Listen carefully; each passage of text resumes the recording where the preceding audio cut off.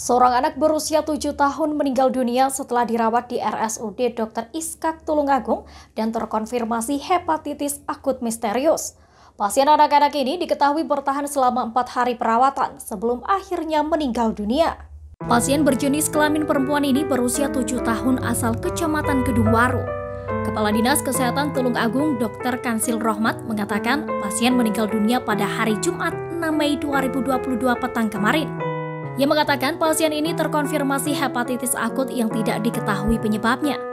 Pengertian terkonfirmasi karena sesuai kriteria yang ditetapkan Kementerian Kesehatan, yaitu mengalami penyakit kuning akut berusia di bawah 10 tahun dan tidak diketahui penyebabnya.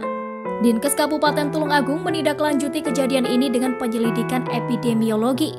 Selain itu, sampel darah, urin, dan fases korban juga dikirim ke Kementerian Kesehatan RI. Dinkes juga melakukan pemeriksaan fungsi hati kepada anak-anak di lingkungan korban. Namun sejauh ini tidak ada anak-anak yang mengalami gejala yang sama dan tidak ditemukan apa pun. Hanya di korban turut mengalami sakit dengan gejala serupa, namun gejalanya masih ringan belum sampai timbul penyakit kuning. Saat ini adik kandung korban dirawat di RSUD Dr. Iskak. Sebelumnya, pasien yang meninggal ini diketahui melakukan perjalanan ke Jombang bersama keluarga. Sebelum berangkat, kondisinya sudah tidak enak badan. Pasien ini juga belum pernah mengalami penyakit kuning. Sebelumnya pasien ini mengalami demam dan muntah-muntah sejak empat hari sebelumnya.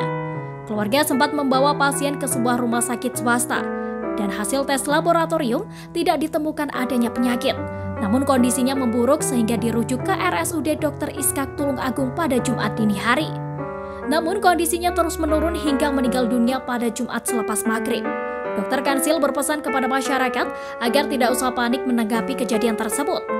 Namun bagi anak-anak usia 16 tahun ke bawah diminta untuk waspada terhadap makanan yang dikonsumsi. Sebab diduga hepatitis akut ini diduga disebabkan adenovirus dari makanan dan juga minuman. Karena itu masyarakat dihimbau untuk hati-hati terhadap makanan yang tidak bisa dipastikan tingkat kebersihannya.